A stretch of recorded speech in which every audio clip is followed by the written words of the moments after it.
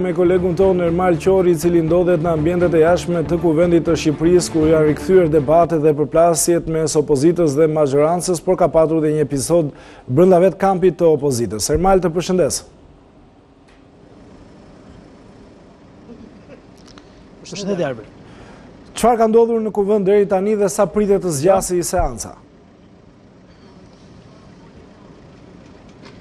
Po në fakt një seancë e nisur që rreth orës 10 të ditës së sotme dhe që vijon ende, në fakt me sa duket edhe për shkak të përplasjeve apo diskutimeve të zhvilluara në këtë seancë ditën e sotme, duket që ajo do të vijojë deri në orët e pasdites, sikurse e theksova ende vijon, ndërsa përpos rendit të ditës ato çka ishin parashikuar për diskutim, në fakt që ishin rreth 10 pika kryesore disa projektligje dhe projektvendime në fakt me natyrë ekonomike, ka pasur edhe përplasje dhe diskutime nëpërmjet maxhorancës dhe opozitës, por jo vetëm, gjithashtu diskutimet dhe debatet kanë vijuar, le të themi, edhe brenda opozitës, konkretisht nga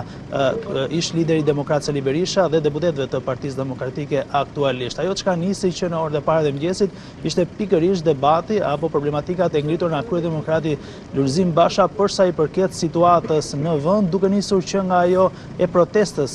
mbajtur ditën e sotme përpara parlamentit në raport nga qytetarët për sa i përket shembjes së shtëpive, apo dhe projektit të Unazës së Re, gjë e cila në fakt ka marrë edhe vëmendjen mediatike ditën e sotme, ku më pas është mbështetur nga disa deputetë të Partisë Demokratike, konkretisht nga kryedemokrati Basha, i cili në parlament ka theksuar duke bërë, le të themi, një paraqitje të një raporti ku nga ana e qeverisë janë shpenzuar disa mijëra euro, në fakt ka theksuar ai për sa i përket udhëtimeve nga ana e kryeministrit, por nuk është koha e nevojshme dhe e duhur për t'u gjetur dhe për t'i dëgjuar në fakt të gjithë qytetarët për problematikat e tyre që ata pasqyruan ditën e sotme edhe me anë të kësaj proteste. Kjo në fakt nuk ka qenë vetëm e para, por ishte pikërisht pikënisja e kësaj seance të gjatë, ku është pasqyruar më pas edhe me diskutime, sikurse e theksova edhe nga kundërargumentat e socialistëve, të cilët të paktën pretendohet që, të paktën përsa i përket qytetarëve, çdo gjë është është vepruar dhe është lëvizur në raport me ligjin. Më pas ka qenë edhe mbërritja e kryeministrit Berisha, ish-kryeministrit Berisha në parlament, ku menjëherë ka sjellë edhe largimin e kryedemokratit Lulzim Basha, ku është vijuar më pas edhe me akuzat, ku fjala e tij fillimisht nisi pikërisht me atë protestë të mbajtur jashtë nga qytetarët dhe më pas ka vijuar me akuzat në parlament, duke drejtuar në fakt edhe sulme për sa i përket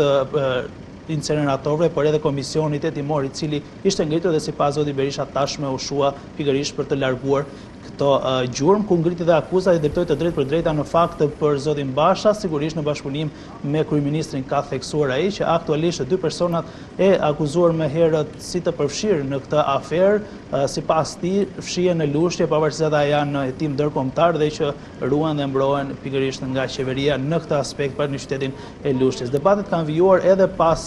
të gjithë pikave kryesore të projektligjeve të cilat vijojnë ende të diskutohen në parlament, ku nuk kanë munguar për secilën prej tyre të gjitha akuzat e bëra nga opozita në drejtim të maxhorancës, se konkretisht kanë qenë edhe ato në disa për sa i përket miratimit të një projektligji në fakt për konviktet, ku ka patur dhe një një fjalë, le të themi të mbajtur edhe nga deputetja Grida Duma në raport me këtë çështje ku ka akuzuar qeverinë që të paktën qytetarët, por konkretisht edhe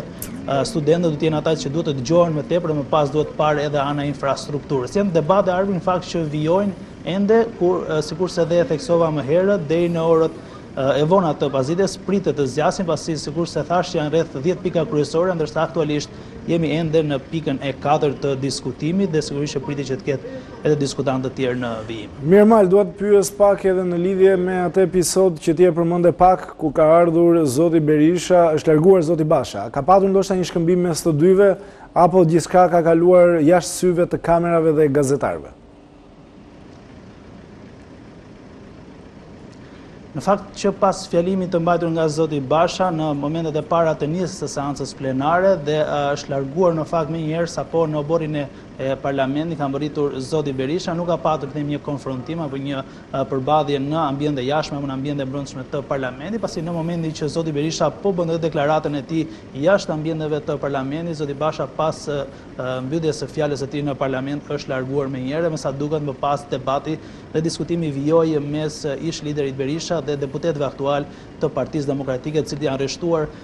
krah zotit Basha ku sigurisht nuk munguan edhe replikat edhe nga ana e zonjës Duma e cila theksoi në fakt që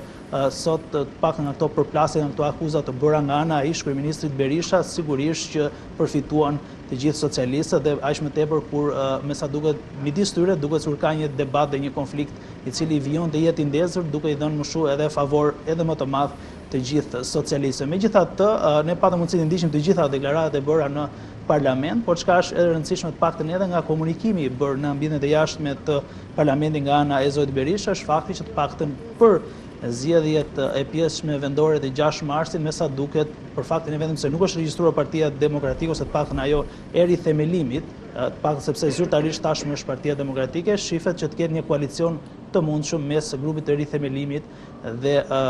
Lëvizjes Socialiste për Integrim. Ishte atje për vete për të konfirmuar, por ishte një deklaratë e cila la të hapur mundësinë për bashkëpunim pikërisht për të zirë. Po, kam edhe një pyetje të fundit, përsa i përket reagimit që ka ardhur nga mazhoranca. Pashë që Zoti Rama nuk i ka dhënë asnjë përgjigje Zotit Basha, apo jo? Vijon ajo taktika që gjithçka ia ka deleguar zonjës Spiropali?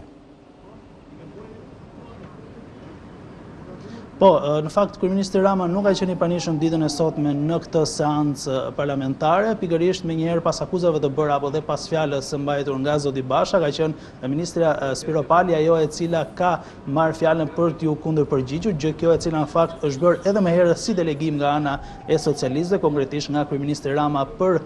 ministren Spiropali, e cila është vendosur që të jetë ajo deri në seancat në disa seanca të mëparshme në fakt e në vijim që do t'i kundërpërgjigjet të gjitha akuzave apo për të zhvilluar edhe diskutimet dhe debatet që do të mbahen në parlament. E njëjta ka ndodhur edhe ditën e sotme, ashtu sikurse edhe ju e theksuat në fakt, ishte Spiropali ajo që iu përgjigj akuzave dhe që ka vijuar më pas edhe diskutimin deri në momentin që debati në fakt ka vijuar ndërmjet deputetëve të socialistëve dhe atyre demokratë që është vijuar më pas edhe me